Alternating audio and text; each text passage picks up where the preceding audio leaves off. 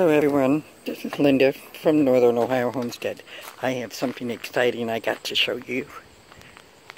I've waited six months for this. Show you out here in the front. These are my red Roselle plants. And I planted these back in the middle part of March and I did not think I'd be able to get these beautiful hibiscus flowers.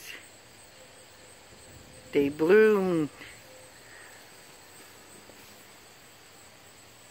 Aren't they just gorgeous?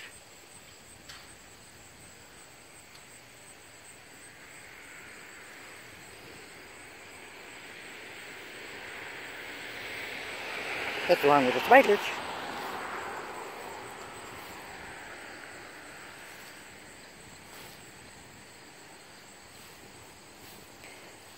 They're beautiful.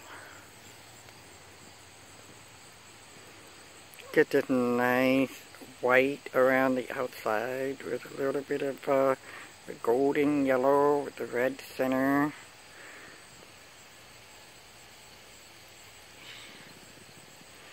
See now these will turn in to these and I can make Kool-Aid or jellies or jams. And they open up during the day. And later in the afternoon, they're going to close up. I'm just so excited.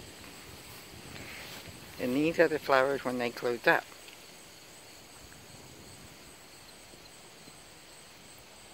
Kind of turn pink.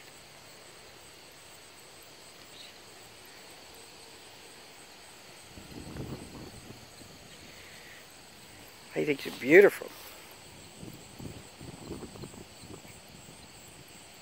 And these plants are already oh, getting about five, six feet tall.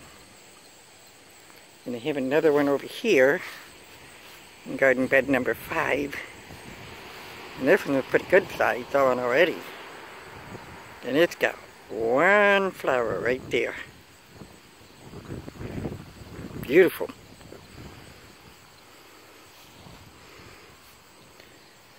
Can't wait to try some of these. These things are just beautiful.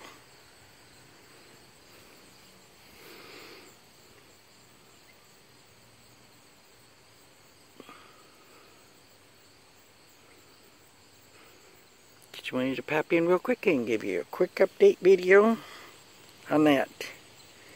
Gorgeous. Alright, catch you next time. Bye.